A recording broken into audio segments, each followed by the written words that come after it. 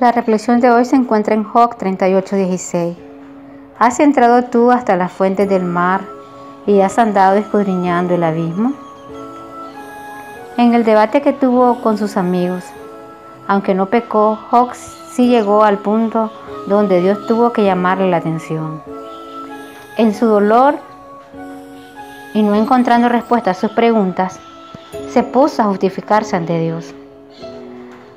Por su obcecación se estaba equivocando en su forma de ver las cosas. Dios tuvo a bien interpelarlo antes de que Job se deslizase por la senda que lleva al pecado. Le formuló varias preguntas para hacerlo razonar y ayudarlo a abandonar sus premisas erróneas. ¿Has entrado tú hasta la fuente del mar? En los días de Job esa pregunta no tenía respuesta.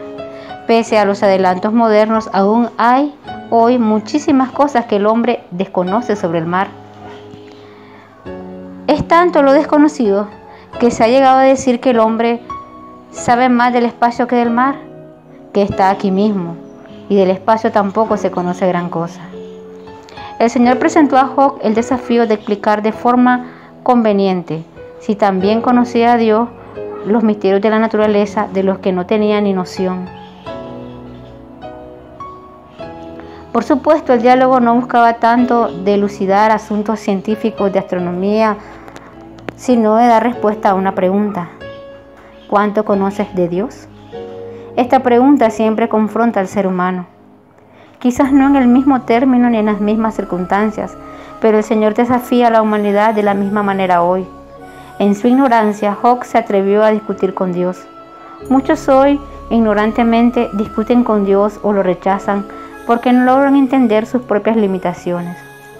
Todo lo que Dios quiere de los seres humanos es la fe, fe para entender, fe para aceptar y fe para confiar. Lo cierto es que en el Nuevo Testamento, la epístola a los Hebreos, nos enseña que sin fe es imposible agradar a Dios. La fe hace que no, que no, no entremos en pleito con nuestro Dios.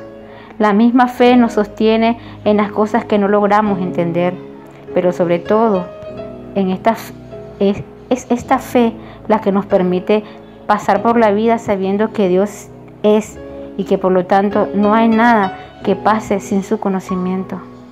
En vez de buscar pleito con Dios, empleemos nuestras energías en confiar y desarrollar más fe en nuestro insondiable Creador y Salvador.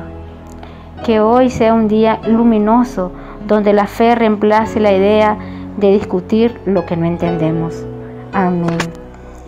Que el Señor te bendiga.